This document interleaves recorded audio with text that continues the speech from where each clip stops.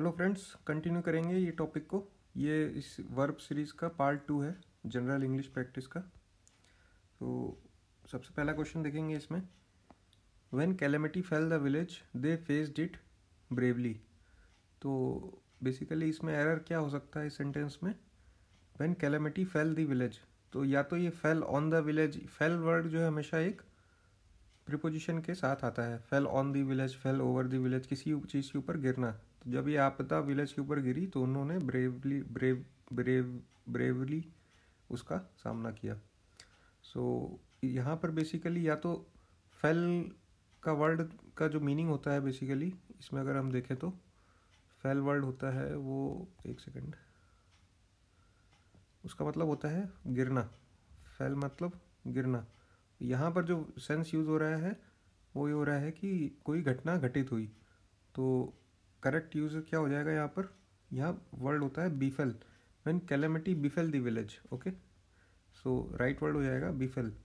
यहाँ पर, देखिए मैंने यहाँ पर दे भी दिया है आपको हिंट में ओके फॉल एंड बिफॉल ये दोनों कन्फ्यूजिंग वर्ड्स होते हैं। फॉल का मतलब होता है गिरना बिफॉल का मतलब होता है कोई घटना घटित होना। तो जब कैलेमिटी या कोई आपदा जो है घटित हुई इस विलेज में तो उन्होंने ब्रेवली उसका सामना किया। आइए नेक्स्ट क्वेश्चन की तरफ़ बढ़ते हैं। The assassin was convicted and order to be hung इसमें क्या एरर है आप कोशिश करिए फाइंड करने की। द असैसिन जो मर्डरर था ही वॉज़ कन्विक्टेड ओके उसको सज़ा हुई और उसको फांसी देने की सज़ा हुई। He was order to be hung तो आइए इसमें देख लेते हैं कन्फ्यूजिंग पेयर क्या होता है इसमें। देखिए इसमें बेसिकली दो वर्ड्स होते हैं फ्रेंड्स हैंग हैंग दो वर्ड्स नहीं बेसिकली वर्ड तो एक ही होता है हैंग पर इसके मीनिंग दो हो सकते हैं। ये आपको यहाँ पर याद रखना है और सीखना है। एक मीनिंग तो होता है हैंग का जो ये वाला जो फ़र्स्ट वाला हैंग है यहाँ पर इसका मीनिंग होता है फांसी।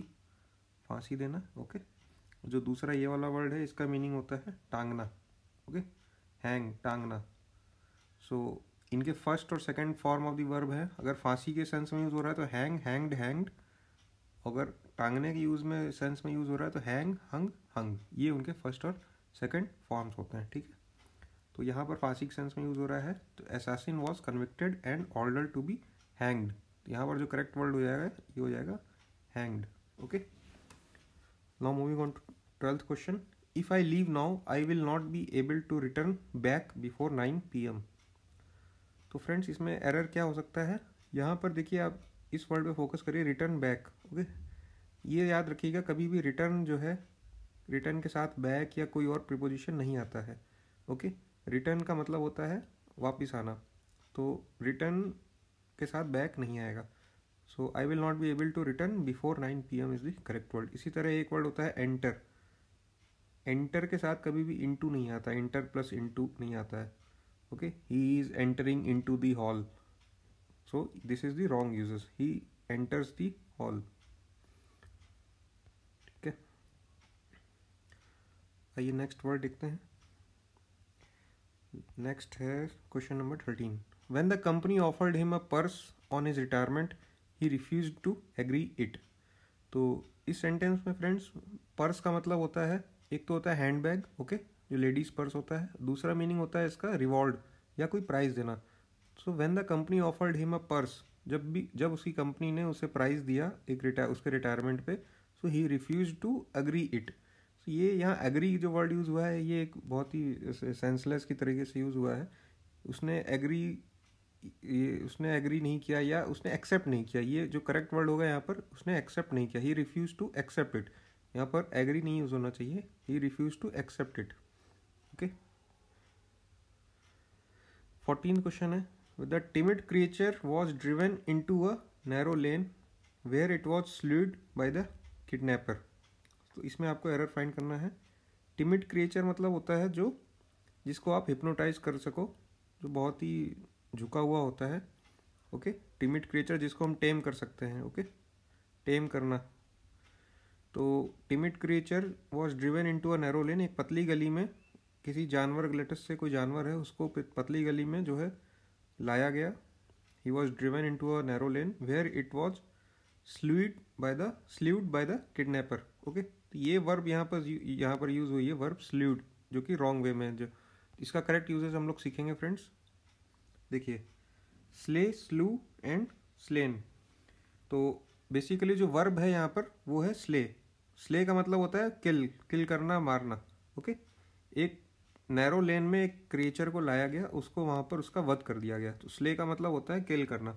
तो इसके फ़र्स्ट फॉर्म होते हैं स्लू सेकेंड फॉर्म होता है स्लेन ओके वर्ब का first form sorry first form slay है सेकेंड एंड थर्ड फॉर्म होते हैं स्लू एंड स्लेन तो यहाँ पर जो वर्ड यूज़ हो जाएगा करेक्ट जो है it was slain by the kidnapper यहाँ पर यूज़ होना चाहिए स्लेन थर्ड फॉर्म यूज़ होगा okay it was slain by the kidnapper I hope you are enjoying the lecture and uh, friends do not forget to subscribe to my channel. I will keep bringing such educational videos on this channel. 15th question is being implicated in a murder case being implicated in a murder case he was conclusively suspected for all the unsolved murder cases okay तो friends implicated का मतलब क्या होता है proven इन अ proven किसी भी crime में उसको प्रूव कर देना okay to have committed a crime तो being implicated in a murder case he was conclusively conclusively का मतलब क्या होता है फ्रेंड्स कंक्लूसिवली का मतलब होता है to put an end to a debate और कोई किसी चीज़ का फाइनल रिज़ल्ट तक पहुँचना। तो वो he was suspected for all the unsolved murder cases तो यहाँ पर कंक्लूसिवली और सस्पेक्टेड दोनों एक साथ आ रहे हैं। ये थोड़ा सा जो है परमिसिबल नहीं है। फ्रेंड्स ये जो है सेंसलेस भी है। ठीक है कंक्लूसिवली मतलब होता है कि आप पूरी तरह से श्योर है पक्का है। और यहाँ पर एक तर, एक तरह से यूज़ हो रहा है वर्ड सस्पेक्टेड तो दोनों कॉन्ट्राडिक्ट्री हैं। तो यहाँ पर ये कंक्लूसिवली नहीं आएगा। ओके सो करेक्ट सेंटेंस क्या हो जाएगा? Being implicated in a murder case he was suspected for all the unsolved murder cases यहाँ पर कंक्लूसिवली नहीं आएगा।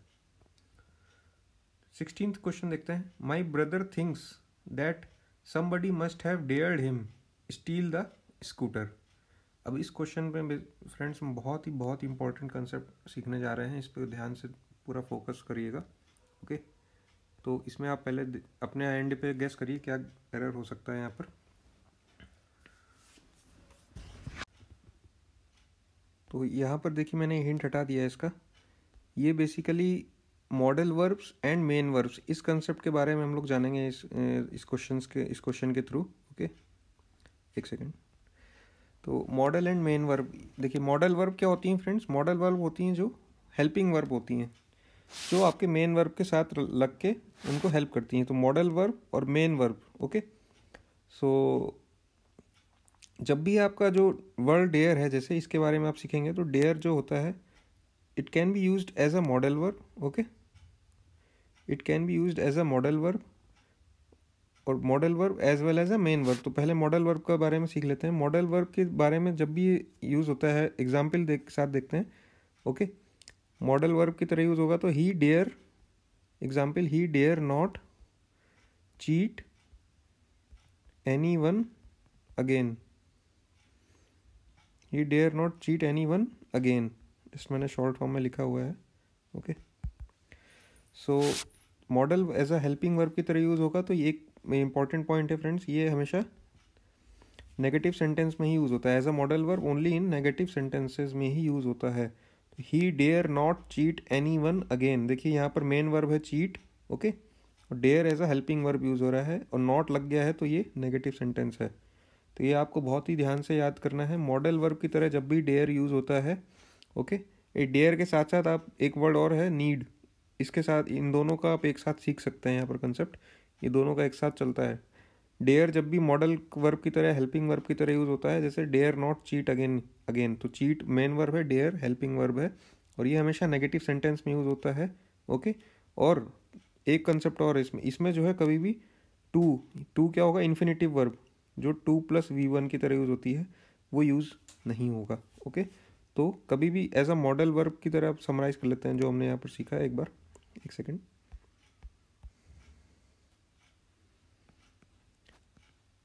देखिए फ्रेंड्स अगर मॉडल वर्ब की तरह यूज़ हो रहा है डेयर तो पहला पॉइंट आपको याद रखना है कि वो सेंटेंस नेगेटिव होना चाहिए, है ना? सेंटेंस नेगेटिव होना चाहिए और उसमें टू प्लस वी वन वाला फॉर्म जो है नहीं यूज़ होगा ओके दो पॉइंट आपको हमेशा याद रखना है।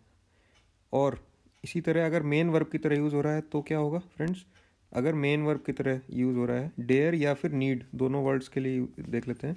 मेन वर्ब में हमेशा पहला पॉइंट हो जाएगा। ये जो है टू प्लस वी वन की तरह यूज़ होता है ओके मेन वर्ब की तरह टू प्लस वी वन में आना चाहिए। She does not dare to go there okay she does not dare to go there ये एग्ज़ाम्पल है एक सेंटेंस का डेयर टू गो देयर तो यहाँ डेयर देखिए मेन वर्ब है okay she does not dare वो कभी भी साहस नहीं करती है वहाँ जाने का। तो डेयर मेन वर्ब की तरह यूज़ हो रहा है तो यहाँ पर टू प्लस वर्ब का फ़र्स्ट फॉर्म आ जाएगा। Okay to go to go go is the first form go went gone okay to go देखिए यहाँ टू प्लस वर्ब का फ़र्स्ट फॉर्म आ रहा है। तो ये मेन वर्ब में जब भी यूज़ होगा, यहाँ पर टू प्लस वी वन का फॉर्म आएगा। ये हमारी लर्निंग थी फ्रेंड्स इस सेंटेंस से। तो अब यहाँ पर आपके लिए बहुत आसान हो गया एरर फाइंड करना। एरर क्या हो जाएगा? Somebody must have dared him यहाँ पर अब देखिए, ये मेन वर्ब है या हेल्पिंग वर्ब है? ये मेन वर्ब है। यहाँ पर कोई भी आपकी एज अ हेल्पिंग वर्ब नहीं यूज़ हो रहा है डेयर यहाँ मेन वर्ब है। She must have dared him to और यहाँ पर टू प्लस वी वन का फॉर्म यहाँ पर लग जाएगा। टू प्लस वी वन ये स्टील वी वन है। देखिए first form of the verb है। Steal stolen stolen. तो ये सही हो जाएगा। यहाँ पर टू लग जाएगा बेसिकली तो सेंटेंस आपका सही हो जाएगा। आई होप ये अच्छा कंसेप्ट आपको याद रखना है। आगे बढ़ते हैं। Seventeen question when I was young I can run faster than Mohan ये देखिए बेसिकली फ्रेंड्स ये पैरलिज्म का एक जो है एग्ज़ाम्पल है। आप हमेशा याद रखिएगा इस तरह के क्वेश्चंस में। वर्ब जो है हमेशा पैरेलल में यूज़ होती हैं। देखिए when I was young past की पुरानी बात कर रहा है तो आई कैन रन कैन तो यहाँ पर वॉज़ के साथ हमेशा पास्ट फॉर्म आएगा इसका तो यहाँ पर कुड हो जाएगा ओके कैन कुड ये सब जो है एबिलिटी शो करने के लिए यूज़ होते हैं। देखिए, यहाँ पर कुड हो जाएगा। एटीन क्वेश्चन देखते हैं। Harish needs not come here as it is getting dark मैंने आपको बताया था फ्रेंड्स नीड और डेयर जैसे यहाँ पर नीड यूज़ हुआ है यहाँ डेयर दोनों सेम कंसेप्ट होते हैं, दोनों के लिए अप्लीकेबल जो हमने डेयर के लिए सीखे थे, वही नीड्स के लिए हैं। तो यहाँ पर Harish needs not come here तो यहाँ पर जो नीड है ये जो है एज अ मेन वर्ब जो इन्होंने नीड्स अगर मेन वर्ब की तरह यूज़ होती है तो नीड्स लिखते हैं। He needs to come here he needs to come here okay तो ये मेन वर्ब है जैसे तो ऐसा आएगा। पर अगर यहाँ पर देखा जाए ना he needs not come here तो ये as a model verb use हो रहा है। ही नीड नॉट तो मॉडल वर्ब में एस नहीं आता है। तो यहाँ पर खाली नीड हो जाएगा। ओके मेन वर्ब क्या होगी यहाँ पर? कम हेयर यहाँ पर जो मेन वर्ब है वो है कम इसका मॉडल वर्ब की तरह यूज़ हो रहा है तो मॉडल वर्ब में कभी भी एस नहीं आएगा। ये सब छोटे छोटे पॉइंट्स हैं, आपको याद रखने हैं फ्रेंड्स ओके